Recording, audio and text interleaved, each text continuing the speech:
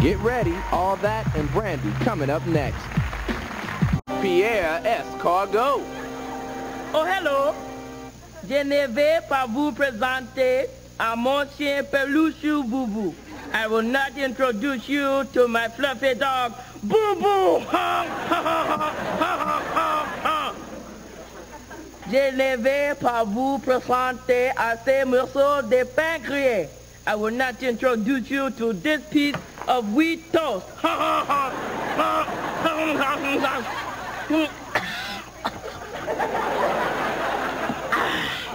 Cependant, cela me fait de grand plaisir à vous présenter à notre invité musical Brandy. But it gives me great pleasure to introduce you to our musical guest, Brandy!